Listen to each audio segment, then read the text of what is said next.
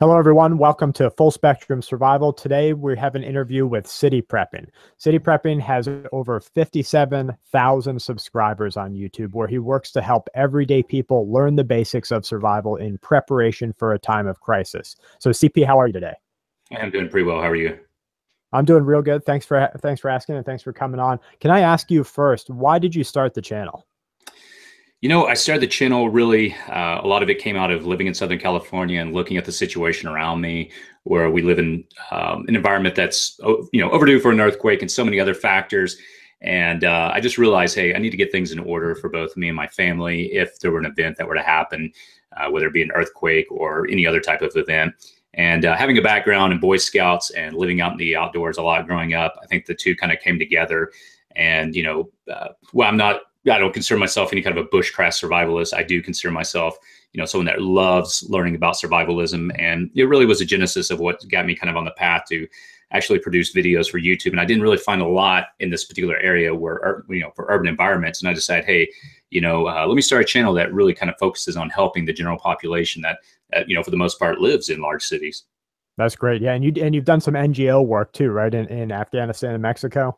Yeah, yeah. In college back in '96, I used to do a lot of work down in Mexico. Uh, my first trip down to Mexico, we were helping in a community. Ended up losing my appendix down there. We're too far south of the border to get back in time. Wow. Uh, so that was a that was a that was an interesting experience. And then in 2003, uh, there was an opportunity to go in with a group of physicians into Kabul uh, you know, post uh, Taliban, it collapsed, the city kind of stabilized. And so I went in and I, you know, while I'm not a physician, I did help teach English and help uh, in the medical clinic that we have there at Kabul University. Well, well, thanks for you know just from everyone. Thanks for doing that because work working with an NGO and actually getting your feet on the ground in areas that really need it is a it's an opportunity for for you as a person. But what a great experience to be able to see the culture and see really the need for preparedness back here on North American soil. Yeah, yeah, it's uh, being in those environments. It gives you obviously number one appreciation for what we have, but secondly, it it uh, it, it shows you, hey, if things were to go really bad, what does it look like? And while I would by no means wish this upon our country, you know, after having seen what I did, it taught me that hey, if things were to go south, if we did go into a, a collapse or whatever things would look like, at least I've got that experience that it can never be taken away from me. I know what it's like to live in those environments, and that That's to me right. is you know very important. Yeah, absolutely. Now, you have had some extremely viral videos. Uh, what do you feel is the most helpful video that you've produced for the community so far? Yeah, well, um, you know, it's funny how they work out with videos. The ones that you're like, well, just kind of produce it and not think much of it, those end up blowing up. And, you know, the ones that you really put, you know, so much time and, you know, research and they kind of do okay. And, um, I, you know, it, it, just, you never know how it's going to work out. But I think for me, you know, number one, I, I, look at when I come to prepping, I try to break things down in a very basic way that hopefully people can understand. Like, hey, how do I, how can I approach this in bite-sized chunks? Um, I did one on the six immutable laws of prepping, and I think that's a good starter video for someone that's getting into prepping that really doesn't even know, like, hey, where do I start? Because when you get into prepping, there can be so many things that can be overwhelming. Like, oh, I got to do all these things or buy all this stuff. And I thought that was a good solid video to kind of give some foundations. Uh, for me, living in Southern California, water is a big issue. I did do a video, you know, explaining long-term water storage, and to me, that was a very important video. And I, you know, have to spend a lot of time and energy making sure my water preps are up to date. Yeah, absolutely. Yeah, water is such an important part of life, and with your background in microbiology, you of course know the the speed at which a a human can be, you know, succumb to waterborne disease.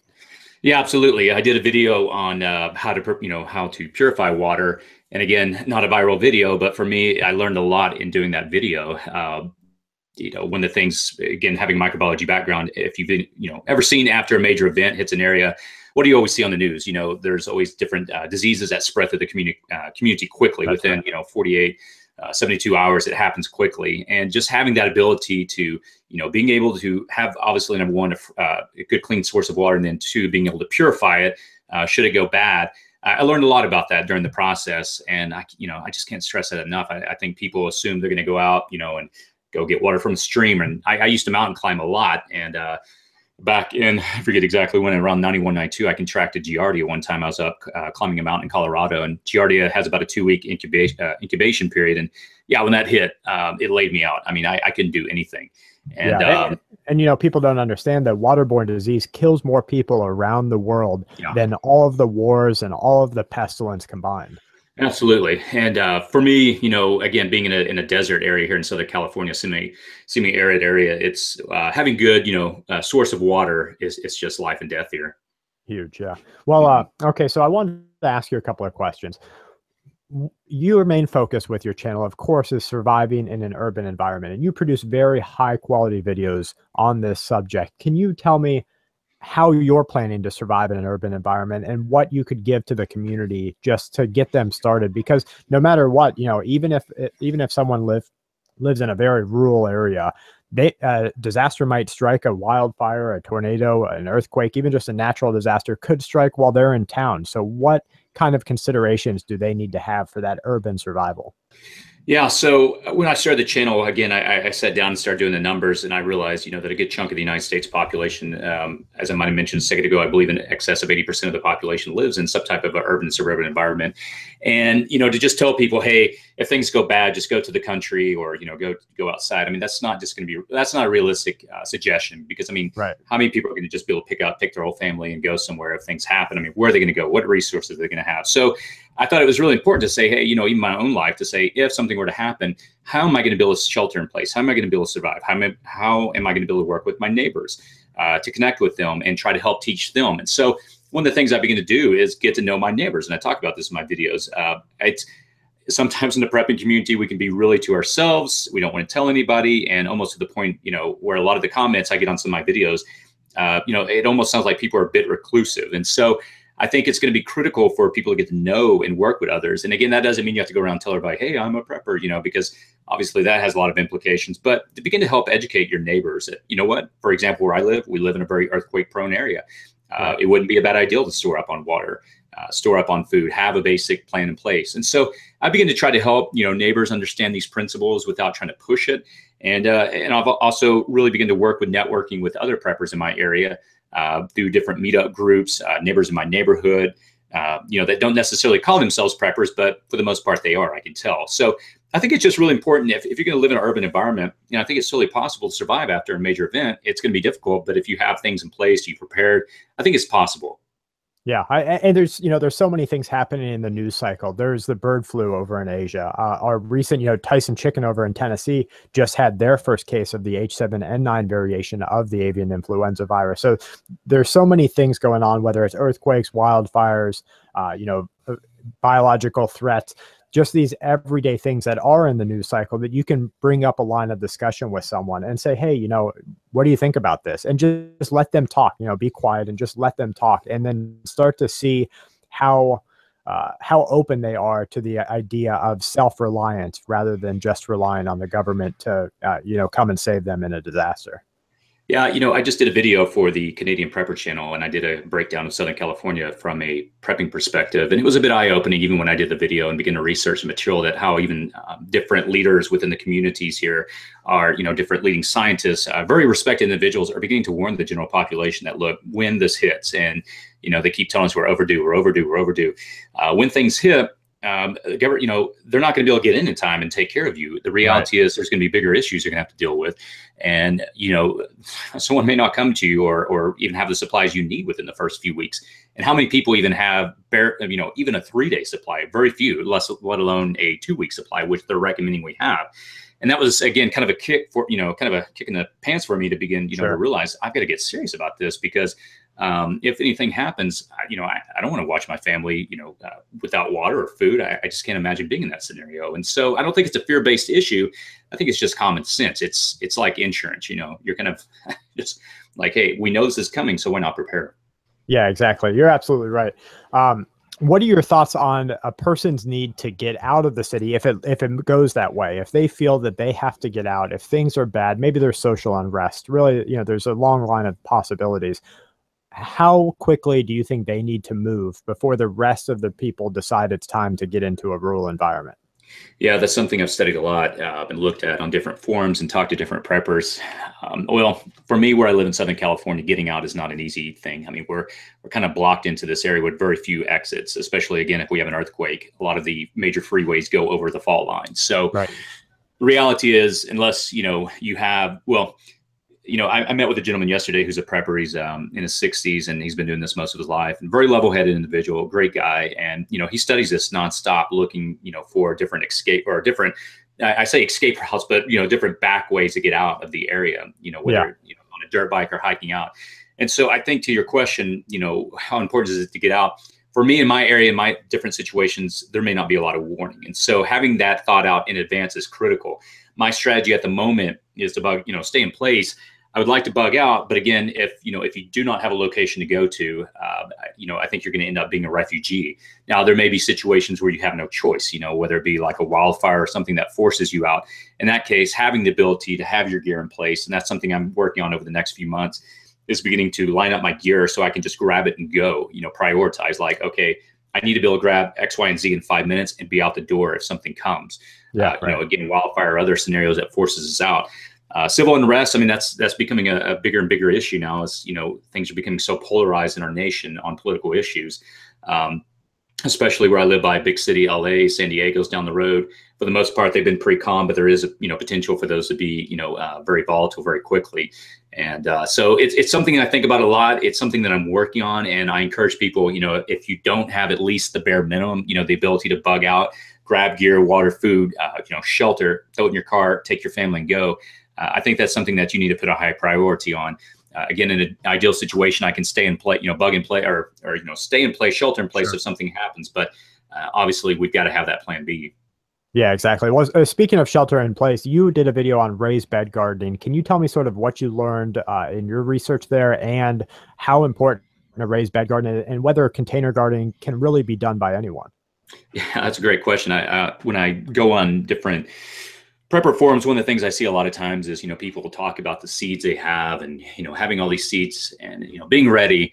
And right. you know i've never asked a lot of these people but I, I, assume a lot of these people probably have not ever gardened before. And prior to me starting this raised bed garden i've never gardened in my life. I mean I, I grew up in the country. We had a garden. My dad did that but i never really dealt with it. I saw him do it um, and so, you know, I started uh, researching on YouTube, and all the videos all pointed back to a book, uh, The Square Foot Gardening. I believe the gentleman's name is Mel. I forget his last name, uh, but it's a book that sold millions. Again, yeah. I have no experience with gardening. Picked it up. It's very, very uh, well broken down. The guy's an engineer. He was not a gardener at all. He just looked at gardening from a engineer's perspective, and that's what uh, was a, you know initiated him starting that book. And so it, it, just broke it down in a very simple way that hey, you can set this up. Here's you know step by step here's how you make the soil. You know you don't have to deal with you know, learning all the ph balance. You don't have to deal with weeds etc if you do the soil yourself. And he, he explains how to break it down. And so for me i've, I've built one. Uh, i'm learning i'm seeing it you know already the uh, the different seeds that I, I planted that things are already starting to grow. So that's been really exciting and i'm going to start working on adding more. But i encourage people if they've never gardened you know it, it doesn't take much space. Uh, the, it's a four by four garden um, you know, hopefully, if you even live in an apartment, you can you know find that if you have that on your balcony. Uh, but it's it's very practical, and I think you know if you've never done gardening, that would be a great area to start with. Okay. Yeah. And what are your thoughts on uh, even if someone doesn't feel they have that space, should they just start in a two liter bottle or, you know, a, a, tub or anything just to start to learn the nuances of gardening?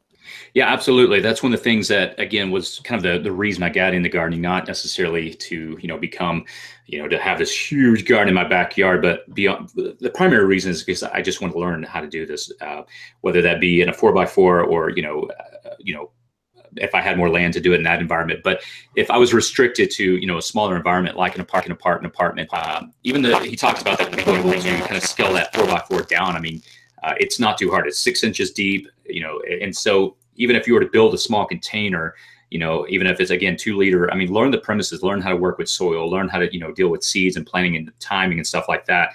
Um, I, I think everybody at some level should get involved with that, you know, to have some kind of a long term viable solution to replenish their food. Yeah, right. That's a good point. Now, you did a video on the six immutable survival laws, and a lot of people probably, you know, I have a background in, in, programming. I know you do. So, mutable and immutable is a very common term for us. What can you explain to the average person if they don't know what that is and what those laws are?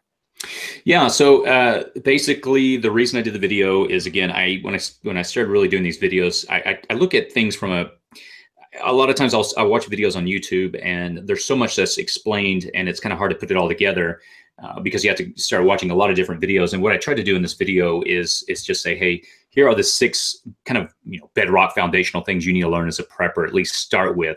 And right. uh, you know the, the, basic things like obviously for me living out here in Southern California, number one is water. Uh, then you know work on your food. Uh, you know, have some kind of finances in place. Whether that's uh, for me, I, you know, I, I, look at having cash for at least the first couple of weeks if things happen. The you know our electrical grid goes down. Uh, having medical in place, uh, having security in place, and uh, then the last one I think on my list, number six, was the ability to bug out if it came down to it. Yeah. And so I, I, think those are six simple foundational principles within prepping. Um, I know a lot of times it can be easy for one to be elevated over the other. Uh, a lot of times, especially, um, I know a lot of people go back and forth in the prepping community, especially like on firearms, and sometimes that can become a huge priority. Uh, I enjoy firearms. Uh, it's something I, you know, it's a hobby of mine. But I know at the end of the day, if something were to happen, um, you know, everybody's not going to go crazy and start rushing my house. I'm going to need to be able to, you know, feed my family, uh, have water. I need those basic things in place.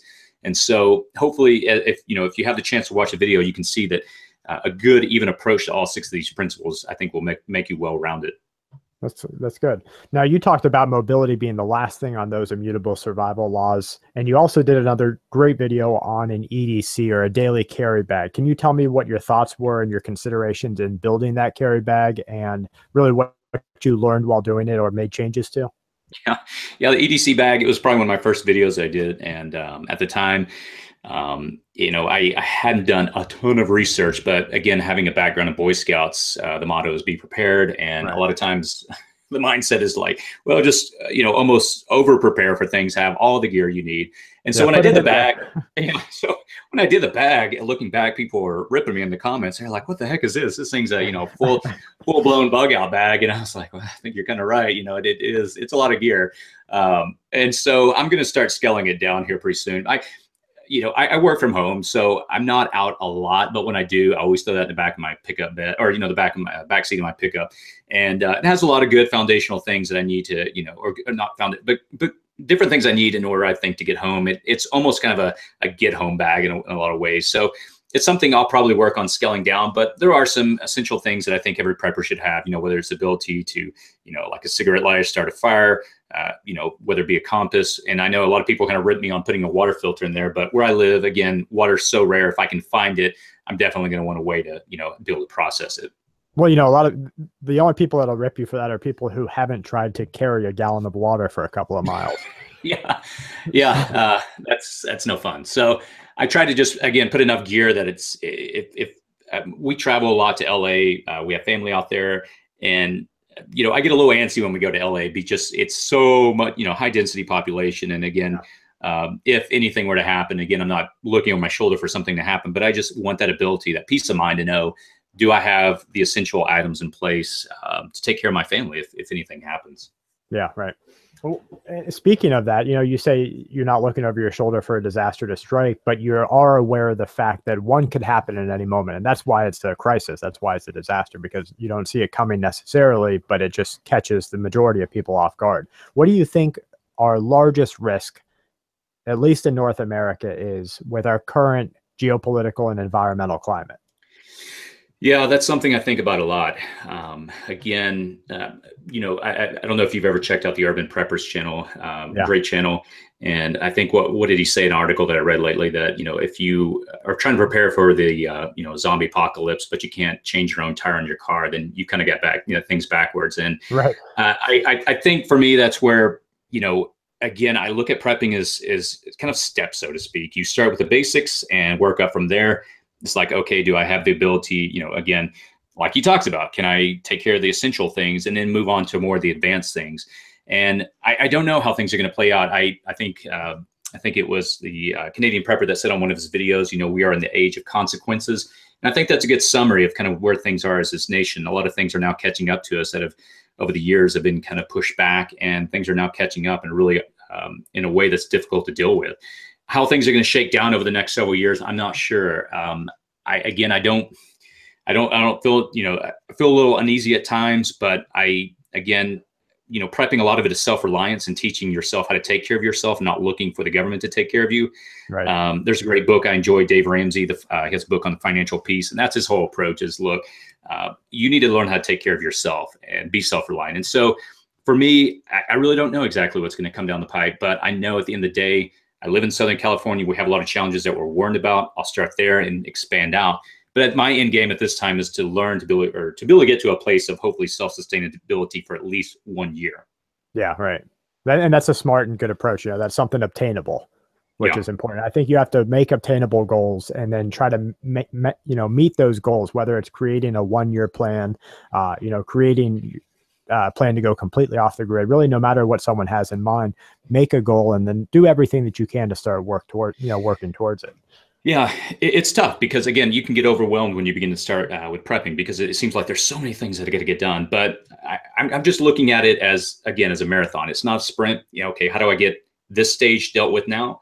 And you know, I'm beginning to look at getting property to you know if I have to bug out to or even move to to have larger property to. But again, that's that's something down the road. I, I don't think I'm going to get to it today, but I know right. I'm going to get things in place now, and I'll I'll work toward that you know, and I think everyone goes through cycles in their own preparedness. And I know a big cycle of mine was I started out as the kitchen sink guy, like you said, you know, just put everything in the backpack, mm-hmm. and then you know you're you kind of rough through it while you while you're uh, you know, going on hikes and everything, and you deal with it. And then after months and months of this, or even over years, you look and say, okay, well, what can I change? You know, what can I do different? And so for me, I've went through a cycle where it started as the kitchen sink, just throw it all in there. Yeah. And then I have slowly narrowed, narrowed, narrowed down my pack and, and just my lifestyle to now more a primitive and uh, minimalistic lifestyle. So, you know, rather than having uh, six different cutting tools. I only have a couple, you know, right. rather than having, uh, you know, six redundant things. I just have two, two redundant things, you know, and just kind yeah. of using that to sort of minimalize my gear. Plus it, it helps your mindset because it helps you to say, okay, well, this isn't so much, you know, it's not so overwhelming. This is something doable. I can carry it. My wife can carry it. My kids yeah. can, and, and just focus more on skills. And that's something that I think is so important. What are your thoughts on practicing and learning skills before a disaster strikes? Yeah, you hit the nail on the head. Uh, I've heard a prepper one time in one of our meetup groups say, you know, the, the more skills you obtain, the less gear you'll need. And right. um, it, it's something that I, I, used to mountain climb a lot when I was growing up. I've climbed a lot of 14,000 footers in uh, nice. Colorado. I've climbed the tallest one there twice, uh, Mount Elbert. I used to do a lot in New Mexico. And one of the things you learn very quickly is uh, you know, weight is your enemy. The more gear you have, uh, the more difficult it's going to be for you. So, um, again, like you talked about, it's it's easy to begin to load up on everything you need and or you think you're going to need, and realize at the end of the day, you know that that awesome solar power flashlight, hand crank, yada yada yada, uh, right. maybe it's not as important as a change of underwear, you know. And so, yeah, right. it's uh, you start kind of weigh and balance those things. And so, um, you know, it's as far as practicing that's something again i have a background where i've done a lot of those things. It's not as easy i'll be honest with kids you know they uh, my kids they love being indoors they love doing things. So i'm trying to engage them and try to get them actively involved in the outdoors um, and i want them to have that experience. So if anything were to you know to happen it wouldn't be just a big shock of oh my gosh you know this is such a radical uh, and different sure. environment. How am i going to be able to survive this? And so it, it, takes time, um, and so that's why I'm actively, in, you know, involving them in Cub Scouts, Boy Scouts. I, you know, I'm looking forward for them to have those same experiences I did and get that, you know, that that that those skills and to develop that. It takes time. Yeah, right. Well, I, you know, I do think that that considering your children and considering your family is definitely a huge part in every person's preparedness plan because at the end of the day, the person who is more prepared whether that be skills alone or skills and gear, will become sort of the uh, the bastion of survival. You know, they'll become a, a beacon of hope for other people, and, and other people will gravitate towards you. And you see the same type of thing happen in Syria right now with their civil war. You see it happening in Venezuela, mm-hmm. um, even just uh, you know in long duration economic emergencies like in India, it happens where the people who had more skills become uh, beacons of hope for everybody else. So I think considering your family, considering your kids is such a huge part in that level of preparedness. Now, right before we go, I want to ask you, you did a video that just got huge. And I mean, it, it took on over a million views. And that's the three rules to becoming a gray man. And I urge everyone that's listening and watching to go and check this video out. I'll put a link down in the description. You touch on a couple of things there, and, and it's obtainable. It's only three rules. Can you kind of tell me what your thoughts were in making it and what those three rules are? Yeah, the video, uh, I, I, didn't really talk about this in the video itself. And looking back, I wish I had. I think it would have given me a little more credibility in the video because so many people, when they watch the video, they're like, oh, is this some kind of a, you know, are you reading too many, uh, you know, spy books or something? And right. I was like, no, it's just some things I learned uh, from practical experience. Uh, I was in Afghanistan in 03 doing NGO work, and we had a situation. I talk about this in one of my videos about Afghanistan. Uh, we were in the downtown area. We had a few girls in our group that were wearing very bright colors, and they stood out. And lo and behold, we turned around after being in this. Uh, it was a bazaar, you know, downtown. We turned around and we had a crowd, you know, coming down on top of us because those two individuals they stuck, out, you know, stood out so much. Yeah. And that was, uh, you know, again, just being a very naive person at that time. I was really young. Uh, I should have seen that a mile away, but I didn't. And so it was an eye opener for me that hey, people are going to pick up on visual cues that they'll identify with, and they'll see you as you know a potential target or whatever and they're gonna you know and so the video talks about that specifically about learning how to blend into an environment and i, initiate you know at the beginning of the video i talk about this is you know a gray man lifestyle is not something you want to live on a daily basis it's something to be used in a time of crisis if you need to move uh, you know through a hostile you know environment and go unnoticed or at least try to go unnoticed and it just talks about you know the different parts of the brain that pick up and, and see uh, different things that will cue you as hey this is there's something that's unique or stands out a logo, a tattoo, uh, something that's different or out of the ordinary.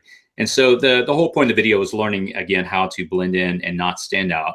And uh, it, it, was based in a lot of experience. After that, uh, you know, situation in Afghanistan, I, you know, I was like, look, if you want to go with me in the public, you're going to have to dress like them.